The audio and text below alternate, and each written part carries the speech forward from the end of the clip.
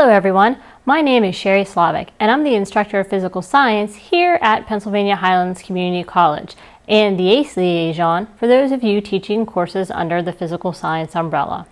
The area of physical science for ACE includes courses in geology, physics, and astronomy. This year at the ACE annual discipline meeting, we are going to discuss research and development across all three areas.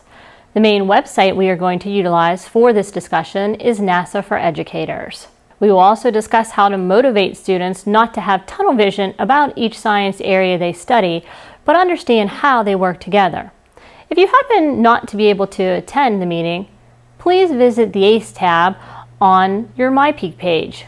Then click the Natural Science folders, and finally, choose your discipline area. Since the discipline of physical science is so broad, individual videos under each discipline goes into greater depth for each course on course content, course delivery, evaluation, and assessment.